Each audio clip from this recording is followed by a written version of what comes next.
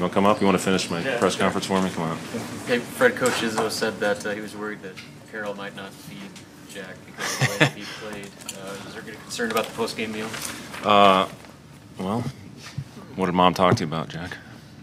About food? I, I think he'll be fine. Um, you know, again, this is this is one of those. You know, this is pretty pretty special. Um, you know, to have uh, have this moment, and you know, again, to see uh, everybody out there. What the Twins wear today?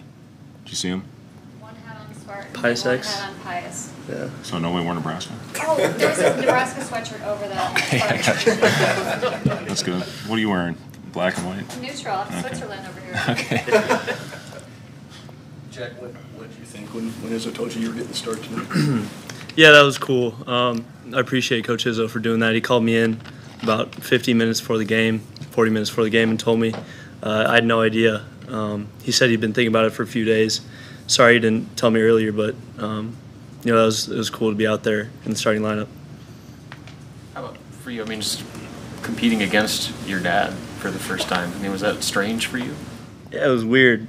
Um, I mean, it didn't really feel like it when I was out there, and then I would look down over at their bench, and then I'd be like, "This is my first time ever not rooting for my dad's teams," which was different. But um, I don't know. It was it was fun.